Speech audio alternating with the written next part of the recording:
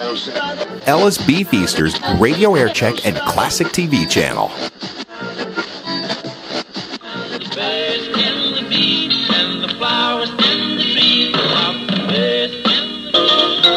It's 20 minutes before 7. This is Marv Howard, KHJ 2020 News. Leaders of the U.S. Moonshot program have ordered current production to go ahead despite the flash fire that killed the three astronauts. At the Washington News Conference just concluded, a space agency official revealed the men died of asphyxiation in their fire engulfed capsule after vainly struggling to escape it. He said two investigators have not yet determined exactly what started the fatal blaze. Nutmeg trippers on the increase. A report and Danny Baxter Sports upcoming on KHJ 2020 News. Vons and shopping bag where extras are yours. No extra cost, no extra cost. A little extra quality, a little extra care. Shopping bag markets are where you get those delicious oh boy fresh frozen stuffed potato boats made of prime fresh potatoes. Oh boy peels each potato and mashes it with fine herbs and seasonings and tops it with aged cheddar cheese or pure sour cream and chives. Then oh boy fresh freezes all this goodness in specially designed aluminum boats. All you do is pop them in the oven, then serve them piping hot. Remember, oh boy fresh frozen stuffed potato boats are made of prime fresh potatoes, fresh frozen in specially designed aluminum boats. Oh boy, frozen stuffed potato boats. So easy to serve and so good to eat. Get some next time you're at Vons and Shopping Bag. Pacific Palisades protest reported a success. With the story now, Mobile News man Bill Brown. A tiny group of Pacific Palisades children are the victors, and the great big state highway department admits defeat. The placard carrying children had picketed for almost one week in a battle to prevent the state from tearing down a pedestrian bridge over Pacific Coast Highway, one of their favorite routes to the beach over the busy Coast Highway. Well, the highway department was about to bring in the demolition equipment until an army of children carrying balloons and signs began their protest march. The bridge will stay. This is Bill Brown for 2020 News. University of California Regents met in a dead-end emergency session today and voted to postpone consideration of a tuition until the regular meeting at Santa Barbara later this month, according to Assembly Speaker Jess Unruh. positive that as of this moment there are not enough votes on the regents to impose tuition. Uh, whether they can get the votes or not between now and the next two weeks, uh, I do not know. But I do know as of now there are not nearly enough votes there to impose tuition. Outside the Regents meeting, a big rally with Bob Brengler of the California Federation of Students telling 2020 News. We would like to see some student representation on uh, the Regents meetings to, do, to choose uh, a new uh, president of the university. We think we have a voice in this. It's important for us. We think we should be there. The district attorney's office has refused to issue a complaint against Sun-sensitive coffee house owner Al Mitchell, arrested Wednesday on suspicion of statutory rape.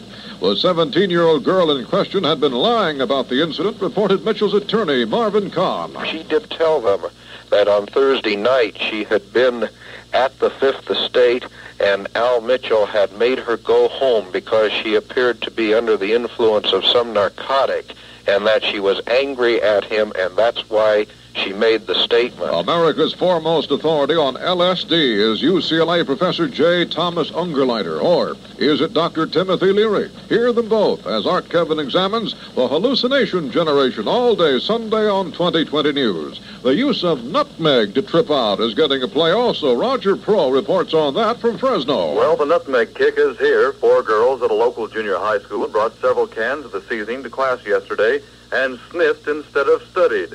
One girl became hysterical in class. Another ran screaming from the cafeteria at lunchtime, claiming her hamburger was trying to devour her. Another girl became violently ill. School authorities say the girls tried the experiment after reading about it in a local newspaper. Nutmeg reportedly gives hallucinatory effects similar to LSD if inhaled in great quantity. In Fresno, this is Roger Pro for KHJ 2020 News. KHA headlines, point eight line. Mexico City. Four newborn girls, the survivors of Mexico's first quintuplets, were rushed by ambulance to Mexico City tonight from the rude peasant hut, where they were born by candlelight on a makeshift bed of branches. The body of the fifth baby, also a girl, lay in a shoebox on the earthen floor of the hut to await burial. Doctors at the Social Security Hospital in Mexico City report the four surviving girls are in good condition. After their birth, the babies were placed in a wooden box hanging from the ceiling of the hut to keep them as warm as possible. New York City. The four surviving members of the Quints, born to Mrs. Lionel Harris of Brooklyn, are reported doing well, but it will be quite a while before they can go home. KHJ, Danny Baxter, Sports. Florida's Tom Weiskopf leads the Bob Hope Desert Classic by a single stroke after three rounds of play with a 210 total, but it may be the state of Minnesota that will take credit for Weiskopf's vast improvement of late on the links. Uh, Minnesota the one vital ingredient which usually marks success on the PGA Tour for any young golfer, a happy marriage. Uh, Weiskopf's new mate, Jean, a year ago was Miss Minnesota, a winner of the Best Talent Award in the Miss America pageant, and with a personality that, believe me, more than matches her remarkable beauty. Jean Weiskopf, like Mrs. Billy Casper and so many other wives of the touring professionals, watches her husband's protein diet like a hawk. Now, Tom Weiskopf, as a result, has admitted to KHJ Sports that he has had more strength, more stamina since being married. Chi Chi Rodriguez is a stroke back. Billy Casper, Jack Nicklaus, two. Arnold Palmer is three strokes back. But Weiskopf is in the best position of his young career to earn his first PGA tournament victory. Now, along Highway 111 from Palm Springs to Indio, Billboard Advertising tells of the romance of the date. It's a story of a fruit which flourishes and produces best when mated. It appears Tom Weiskopf, the Desert Classic third round leader, has read that story.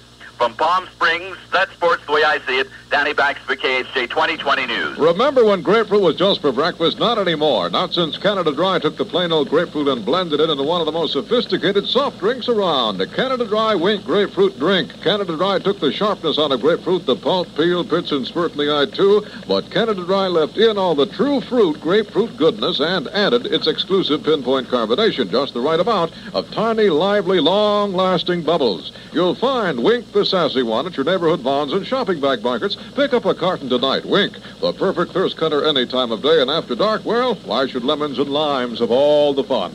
Save on genuine Color Flight Melmac dinnerware by Lennox, only at Vons and Shopping Bag. This first week, 33 cents brings you a regular 77 cent decorated dinner plate with every $3 purchase. Start your set at Vons and Shopping Bag now. KHJ Weather. Just ahead of much more music and humble Harv. Look for clear skies and gusty canyon winds. Total night 50, high tomorrow 78. Here in Hollywood now 67 degrees. This is Marv Howard. 93 KHJ, Million Dollar Weekend, land.